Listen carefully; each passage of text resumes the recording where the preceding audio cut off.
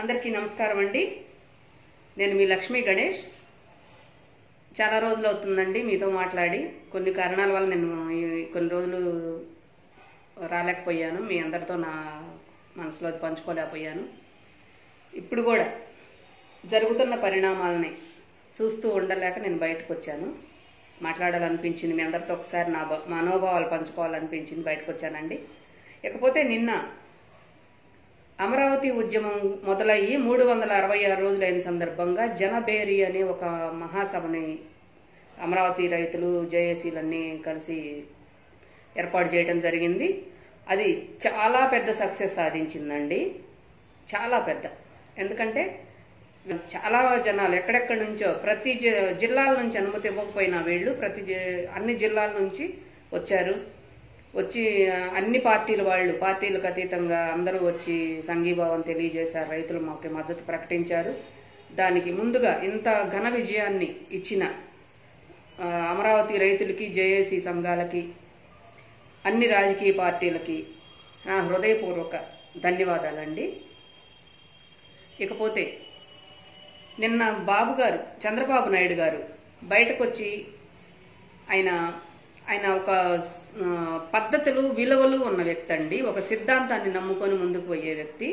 అలాంటి వ్యక్తిని పట్టుకొని ఆయన శంకుస్థాపన జరిగిన అమరావతి రాజధానిగా శంకుస్థాపన చేసిన మోడీ గారు ఒక చెమ్ము నీళ్ళు ఒక చెమ్ము మట్టి పట్టుకొని వచ్చి శంకుస్థాపన చేశారు కదండి. ఆ ఏరియా అక్కడికి వెళ్ళి ఆయన సాష్టాంగ నమస్కారం చేసుకున్నారు ఆయన పుట్టకి కొన్ని కుక్కలు. ఎందుకంటే ఇది ఈ సభ విజయవంతమైంది అనే అక్కసుతోటి బయటకు వచ్చి పెద్ద ఆయన్ని నోటికొచ్చిన నోటికి రాని విధంగా పట్టని విధంగా సారీ నోటికి పట్టని విధంగా మాట్లాడారండి. మేము మాట్లాడగలం. మీరు మీ అన్నదా మీరు అన్నదానికంటే ఎక్కువే మాట్లాడగలం. కానీ మాకు సంస్కారం కాస్త అడ్డం వస్తుంది. అయినా కానీ కొంచెం వాటిని తప్పించుకొని నేను మాట్లాడుతున్నాను ఈరోజు. పెద్ద ఆయన్ని ఒక మాటని ఒక మాట అనకుండా తండ్రి వయసులో ఉన్న వ్యక్తి అండి. ఆ వ్యక్తికి తండ్రి వయసులో ఉన్న వ్యక్తి అని కూడా చూడకుండా నోటికి ఎంత వస్తే అంత మాట్లాడి ఎంతో చేశారు. నేను ఒకటే అడుగుతున్నాను. మీరేం బీగుతున్నారు? చంద్రబాబు నాయుడు జిత్తులు మారి నక్కని ఒకళ్ళు. చంద్రబాబు నాయుడు ఏం చేశాడని జగన్ అడుగుతారని చెప్పేసి ఇంకొకళ్ళు రకరకాలుగా మాట్లాడారు. మీరేం చేశారు చంద్రబాబు నాయుడు గారు?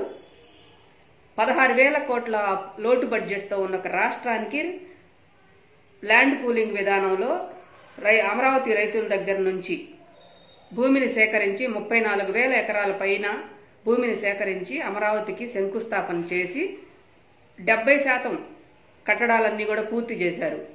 మీరేం చేశారు? ఈ ఇరవై నెలల్లో ఆయన అది చేశారు. చంద్రబాబు నాయుడు గారు అదంతా చేశారు. పోలవరం ప్రాజెక్ట్ డెబ్బై శాతం పూర్తి చేశారు. ఇంకా చాలా చాలా సంస్థలు తీసుకొచ్చారు. కియా పరిశ్రమ తీసుకొచ్చారు. కియా కారులో తీసుకొచ్చారు. అలా ఎన్నో అమెజాన్ తీసుకొచ్చారు. అట్లాంటివి ఎన్నో తీసుకొచ్చారు. అలాంటివన్నీ కూడా మీరు పోగొడుతున్నారు ఈరోజు. మీరేం చేశారు ఈ ఇరవై నెలల్లో? కనీసం ఆకలి అయ్యేవాడికి ఒక ముద్ద అన్నం పెట్టే పరిస్థితి లేదు. పని లేనివాడికి ఒక పని కల్పించే పరిస్థితి లేదు. నిరుద్యోగులకి ఉద్యోగాలు తీసుకొచ్చే పరిస్థితి లేదు. వృద్ధాప్య వృద్ధులకి పె- పెన్షన్ సరిగ్గా ఇచ్చే పరిస్థితి లేదు. ఉన్న రేషన్ కార్డులను తొలగించారు. ఇప్పటికైనా ఎనిమిది లక్షల కార్డులు తీసేశారు. ఇంకా పదిహేడు లక్షల చిల్లర తీసేసే లెక్కలో ఉన్నారు. నలభై ఐదేళ్ళకే పెంచుతాము పెన్షన్ మహిళలకి పె- పెన్షన్ పెంచుతామన్న ఇస్తామన్నారు. అది లేదు. వృద్ధాప్యులు వృద్ధులకి వృద్ధాప్య పెన్షన్లు మూడు వేలు చేస్తామన్నారు. అది లేదు ఉండదే ఇవ్వట్లేదు సరిగ్గా. సగం ఇస్తున్నారు సగం తింటున్నారు. ఇవన్నీ మీరు చేయలేరు. నూట యాభై ఒక్క మంది ఉన్నారు. స్పెషల్ స్టేటస్ తీసుకొస్తాము అని చెప్పేసి అన్నారు. నూట యాభై ఒక్క మంది ఇరవై ఇద్దరు ఎంపీలు ఉన్నారు. ఏం బీకుతున్నారు మీరు ఈరోజు? ఏం పీకారు ఇరవై నెలల్లో? అని మే నేను అడుగుతున్నా. ఒక సామాన్య గృహిణిని నేను. నేను అడుగుతున్నా నాకు సమాధానం చెప్పండి మీరు. మీరు పీకలేరు కానీ ఎక్కడెక్కడున్న ఆస్తులన్నిటినీ కూడా తాకట్లు పెట్టి అమ్ముకొని ప్రజలకి పప్పు బెల్లాలు పంచి వాళ్ళు మాట్లాడకుండా కాస్త పప్పు బెల్లాలు వాళ్ళకి ఇచ్చి మిగతాయి మీరు మీ జేబుల్లో వేసుకుంటున్నారు. ఇవన్నీ అందరూ గమనిస్తానే ఉన్నారు. కాకపోతే వాళ్ళ పరిస్థితులు సక్రమంగా లేవు కాబట్టి ఎవరు మాట్లాడే పరిస్థితులు లేరు. అంతేగాని మీకు భయపడో మీ పరిపాలన బాగుండో మాత్రం కాదు. నోటికి ఏమొస్తే అది మాట్లాడటం ఫస్ట్ మానుకోండి. మీరు ప్రజలకి మీ వంతుగా మీరు శాసనసభ్యులు అనేవాళ్ళు ప్రజలకి ఆదర్శప్రాయంగా నిలవాల్సింది పోయి మీరే వీళ్ళకి వాళ్ళని ఏదంటే అది మాట్లాడే విధంగా మీరే తయారు చేస్తున్నారు. దయచేసి అది మానుకోండి. ఇకపోతే నేను ఒకటే రాష్ట్ర ప్రజలు నేను ఒకటే అడగదలుచుకున్నాను. ఎందుకు మీరు ఈ పప్పు బెల్లాలు ఆశపడుతున్నారు?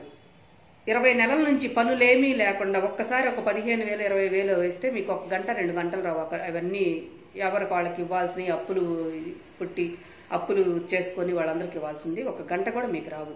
ఎందుకు మీరు ప్రశ్నించట్లేదు? మీకు మీకు రావాల్సిన వీటినే మీరు పొందండి. మీకు రావాల్సిన వాటినే అడగండి గట్టిగా. ఎందుకు బయటకు రావట్లేదు? ఇకపోతే యువత యూత్ అనేవాళ్ళు అసలుకి అస్సలకి నిమ్మక నీరెత్తినట్టు మన ఆంధ్ర యూత్ అంతా చప్పగా ఎక్కడా లేదు.